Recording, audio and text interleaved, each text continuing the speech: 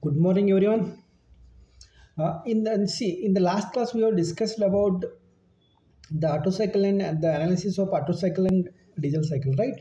So uh, the further continuation of that, we will see today the analysis of dual cycle.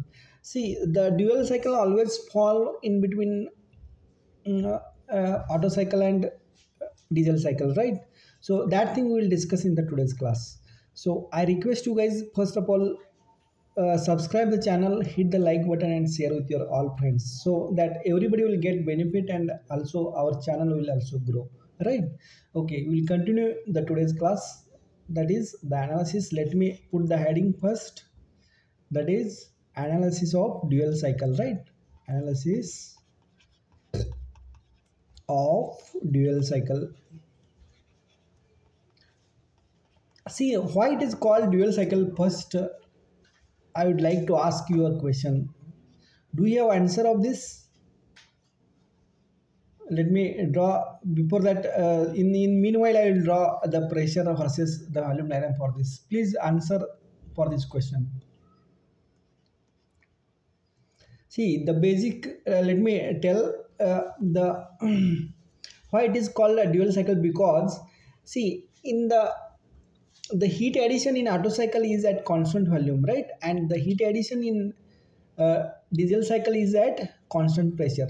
But in the dual cycle the heat addition is both in constant volume as well as in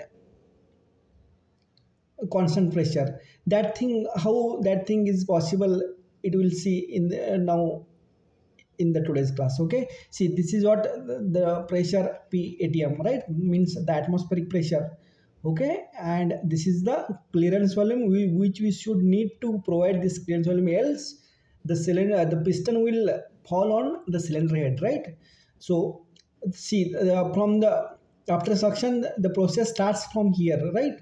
And it reaches up to here like this pv raised to gamma equal to constant right? And later uh, see this is my point 2 then heat addition at constant volume this is point 3 I'll call it as point 3 dash okay?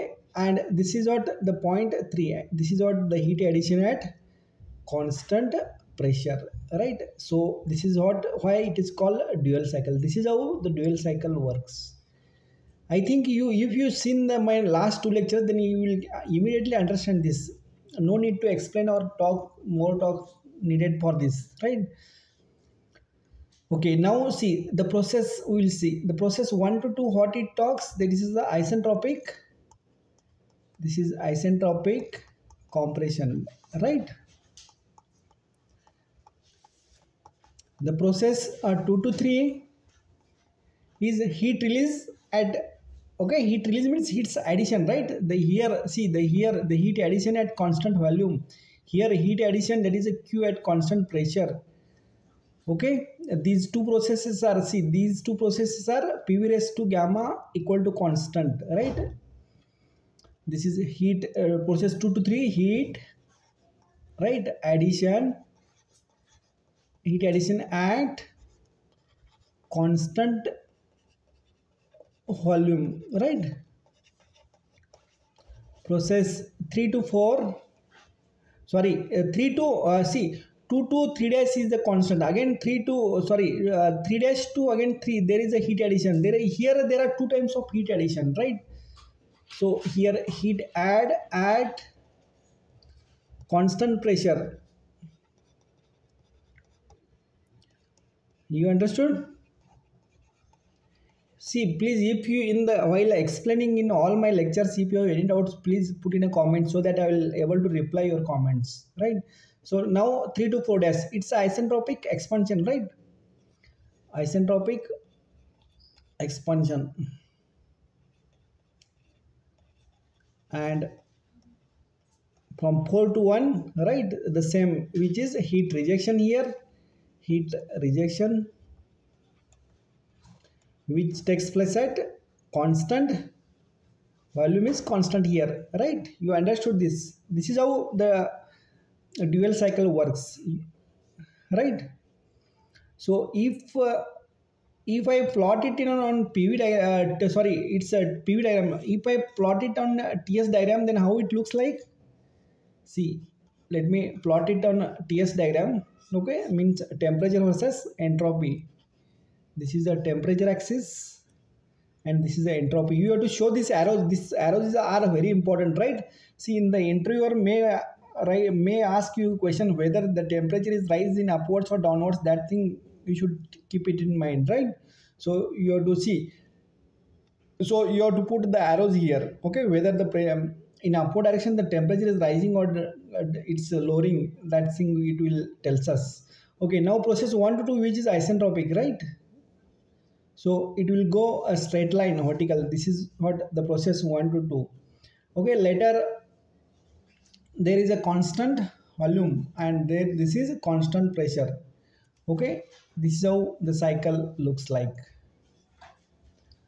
See, I request you guys please see all my power plant engineering lectures because those lectures are the base for this. This is the three dash point and this is the three point and this is the fourth point. Okay, if you've seen the power plant lectures, then I no need to talk more on this because these are very simple, right? Here the heat addition at constant volume and here the heat addition at constant pressure, right? And here the heat is rejected, right? This is what the heat rejection this is how the cycle looks like in the P diagram and see the area under this TS diagram what it this indicates this area indicates the Q net right which is equal to Q W sub W net right? As this is a cycle from the first law of thermodynamics we will know right? In the cycle right? There will not be any raise in the internal energy as initial and final states are same. Okay now we'll see the analysis of this. We understood.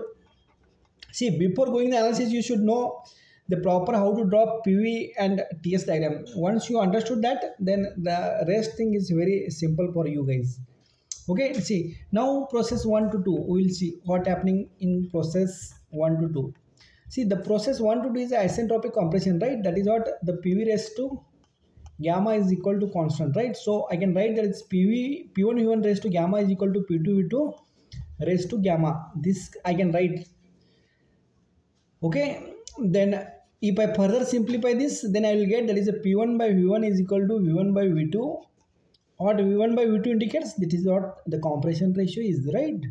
So the p2 i can write that is a p1 r raised to gamma where r indicates the compression ratio right? Okay now if i have to write it in terms of temperature right then t3 dash i can write t3 dash by t2 is equal to or this rho right? So the t3 dash which is equal to t2 by t2 rho rho is the expansion ratio right? So this is t1 sorry rho is the it's not cutoff ratio right? Rho is a cutoff ratio. T1 sorry i can write t1 r raised to gamma minus 1 rho so t3 dash i can write it as t1 r gamma minus 1 into rho okay this is what all about the process 1 to 2 means isentropic process i can able to draw, plot this p2 and t3 temperatures right? So we will now we'll move further right? The next process is after 1 to 2 that is process 2 to process 2 to 3 dash right. You see in the process 2 to 3 days the volume is constant okay? And pressure is directly proportional to if the volume is constant then pressure is directly proportional to temperature right? If we treat air as ideal gas okay P, p3 dash my p1 i can write this is what the rho. Okay p3 by uh, p3 dash by p2 okay this is what the cutoff ratio right so P3 I can write P3 dash I can write that is P2 rho which further I can write that is P1 times R raised to gamma by rho like this I can write. So finally I will get P3 dash which is equal to P1 right raised to gamma rho. See here how we are deriving these formulas. We know the P1 is the atmospheric pressure right. The, see the unknowns here we know this P1 is atmospheric pressure, right? R, we should know the R, okay? While designing the um, cylinder, right? While the, uh, design the engine components, we should know this R, right?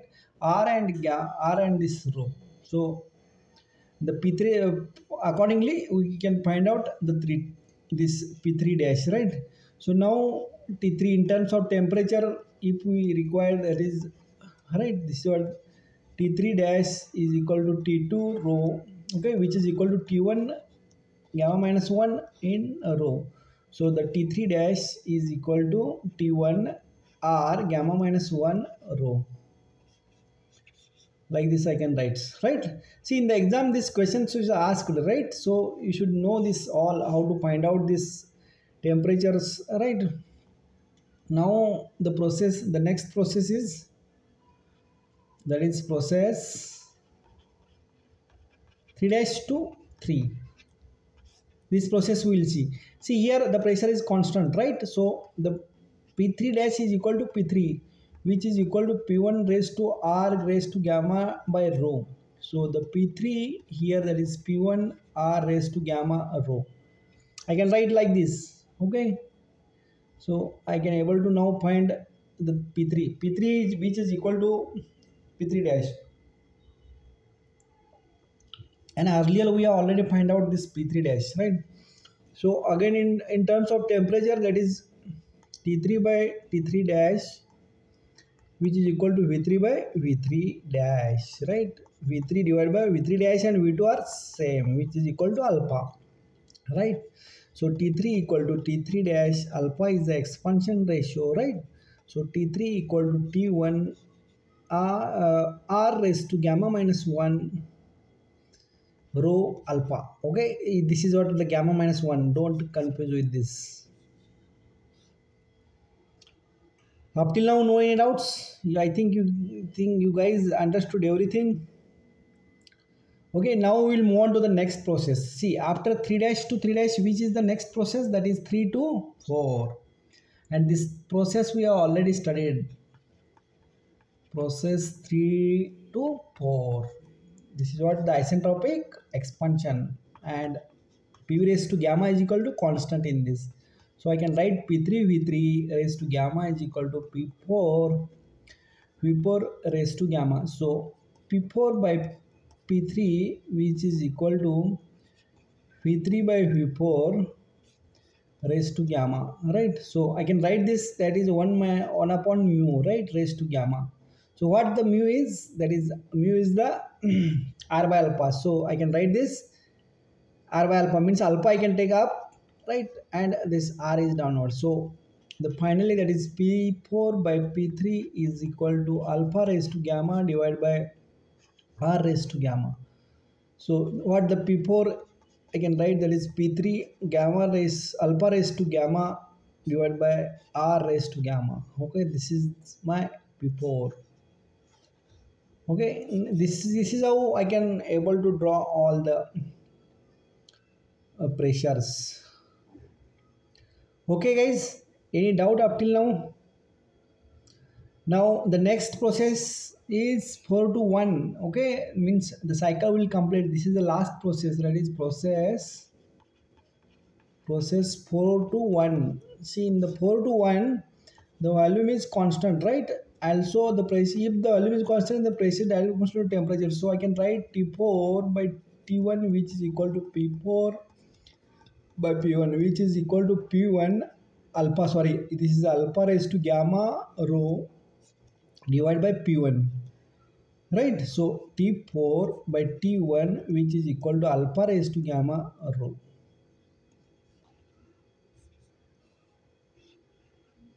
in the gate this much detail will not ask but you should know this. That's why i'm teaching here okay? In the gate there will be very simple problems. Not that much complicated problems asked as of now right? On the misfiring there are many questions asked in the gate. So you should know about that right? Now we'll see see this is all about the process we have discussed. The next thing you should know that is the p um, uh, the the heat addition at constant pressure that is mcp right? T3 minus t3 dash. Okay so i can write this further that is cp right? T1 r raised to gamma minus 1 rho alpha minus t1 r gamma minus 1 rho. This I can write. Alright so mcp heat addition means it is mcp delta t that thing you should keep in mind. Anywhere if heat addition is there then you should remember that thing right? That is alpha minus 1 this is in process qp right? Now the heat rejection right? Q rejection from 4 to 1 process that thing we will see. Okay see heat the rejection process uh, 4 to 1 let me change the color so that you will guys can not get bored. Right 4 to 1 see here the qr which is equal to m cv here. Right t4 minus t1 because heat rejection is constant volume. So m cv uh, this is t1 right alpha. What t4 is t1 alpha? Just now what what you are calculating that thing i am putting here minus t1 okay which is equal to m cv mcv t1 i will take it common right? So the remaining term is that is r uh, alpha raised to gamma rho minus 1 this thing i will get right? You understood this? Now see the heat addition and heat rejection i calculated. Now the next thing is that is efficiency right? The efficiency how to calculate the efficiency? That is 1 minus q rejected by q added or supplied right so if i or the q rate just now we have calculated that is mcvt1 alpha raised to gamma okay minus 1 divided by mcv t1 r raised to gamma minus 1 rho minus 1 plus mcp right the t1 and nothing I am doing I am just that value I am putting here rho alpha minus 1 like this. Right? This is what the heat addition. Just a minute. Okay. Now see the if I simplify this further then I will get alpha raised to gamma rho multiplied divided by r raised to gamma minus 1 right? Rho minus 1 plus gamma rho alpha minus 1 this thing I will and this is what the efficiency of dual cycle. You understood this? This is how we have let me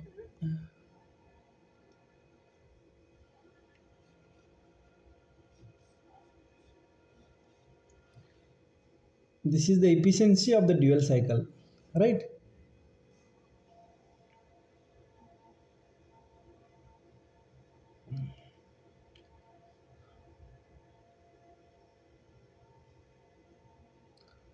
you understood this efficiency? How to calculate the efficiency of this dual cycle?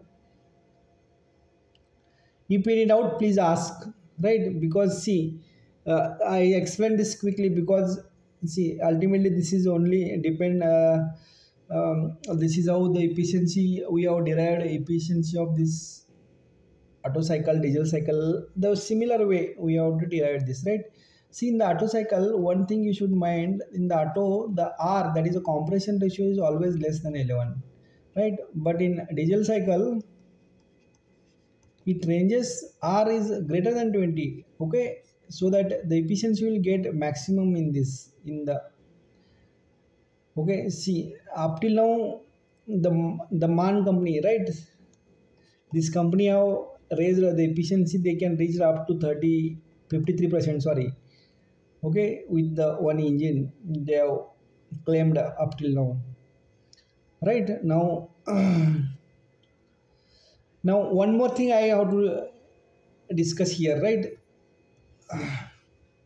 About ships. See in the ship fuel which ship fuel one of the my student asked the ship fuel used see in the ship fuel the heavy fuel heavy oil is used right see this how this heavy oils comes see whatever the uh, the refinery of this petrol and diesel done and some amount of the unwasted oil is remaining that is what this heavy oil is right? And this cost of heavy oil is very less and this is used in the case of ship fuel right? So see the ship is too much heavy right? So the cost is very less almost three to uh, three times lesser than this what the actually petrol getting okay? This is what the heavy oil is used in the ship fuel. One of the friend asked that's why i, asked, I answered this question. Okay guys then uh, with this we'll stop for the today's class. I think you understood this dual cycle okay? And uh, we'll continue our further lecture of this on this ic engine in the upcoming classes right? Okay if you under if you not understand anything in this class please put in a comment so that i'll once i read the comment i will reply for that comments. Okay? And thanks for watching. Uh, have a nice day. Bye. Take care